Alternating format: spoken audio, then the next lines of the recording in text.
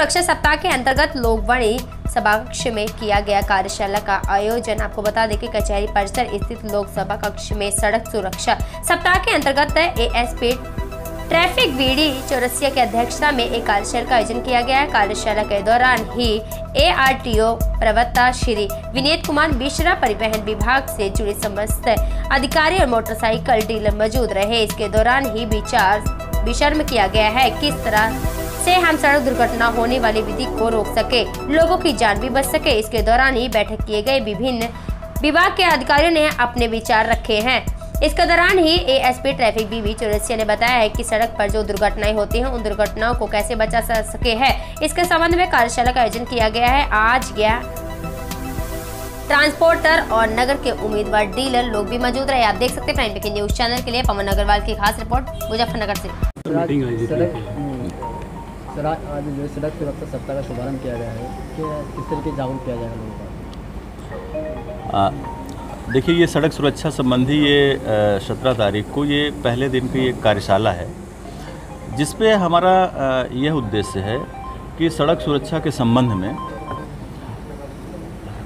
विभिन्न जो stake holders हैं, जैसे हमारी एजेंसी के लोग हैं, हमारे पुलिस अधिकारीगण हैं, हम लोग हैं, आप पत्रकार हैं और कोई भी सामान्य व्यक्ति है, वो अपने सुझाव, अपना अनुभव और किस प्रकार से हम इसमें कमी ला सकते हैं वो शेयर करें और इसको हम व्यवहार में इसको लागू भी कर सकें। जो सड़क दुर्घटनाओं में जो इतनी संख्या में बेतहासा वृद्धि हो गई है, दुर्घटनाओं में भी कमी आए, मृत्यु में भी कमी आए और मैं आशा करता हूँ, उम्मीद करता हूँ कि सड़क सुरक्षा सप्ताह के प्रारंभिक इस पहले दिन में हम जिस संकल्प के साथ इस कार्यकाला से निकलेंगे और 22 तारीख को सर किस तरह की मीटिंग आयोजित की गई?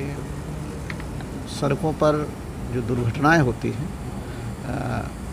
उससे कैसे बचा जाए इस संबंध में? रोड सेफ्टी का एक कार्यशाला है जिसमें ट्रांसपोर्टर्स और भी जिम्मेदार लोग नगर पालिका के लोग रोडवेज़ के अधिकारी आर टी साहब हम लोग इकट्ठे हुए हैं और कोशिश ये की जा रही है कि दुर्घटनाओं को मिनिमम किया जाए या शून्य के लेवल पर लिया लाया जाए।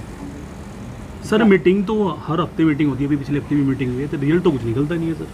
क्या कारण है? रिज़ल्ट इसलिए नहीं निकलता है कि आप लोग भी यहीं बैठे हुए हैं। और मैं अक्सर कहता हूँ कि तीन लोग ज़्यादा जिम्मेदार हैं वकील पत्रकार और पुलिस। जी। जिसमें से सबसे हमारे नज़दीक आप ही हैं माइक हाथ में लिए हुए हैं। और आप लोग भी बाहर देखे जाते हैं तो इन नियमों को पता नहीं वजह क्या है। लेटेस्ट न्यूज़ देखने के लिए प्राइम ब्रेकिंग न्यूज़ चैनल को सब्सक्राइब करना ना भूलें और साथ ही डेली अपडेट्स पाने के लिए बेल आइकन को प्रेस करें।